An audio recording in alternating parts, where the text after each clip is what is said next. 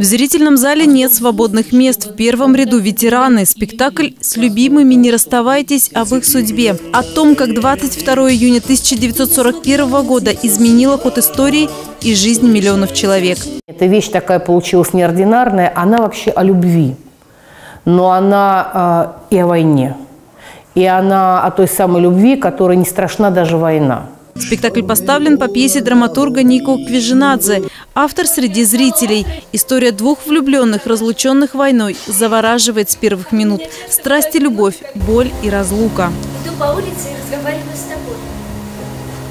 А прохожие никак понять ничего не могут. Они не понимают, что это мы с тобой идем, взявшись за руки. И что есть только ты и я. Я и ты. Знаешь, мне недавно приснилось, будто ты зашла ко мне в палату, где я лежу перебинтованный, и ищешь меня.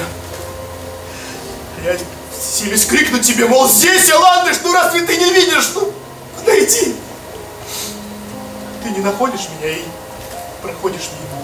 Главная тема – это э, как проявляет человек в экстремальных условиях себя что он остается всегда человеком. По-настоящему, настоящие люди остаются людьми, несмотря ни на что. И э, самое главное, э, хранитель, ангел-хранитель этих людей становится любовь. То есть это э, именно способность человека любить, вот это и защищает вот, моих героев.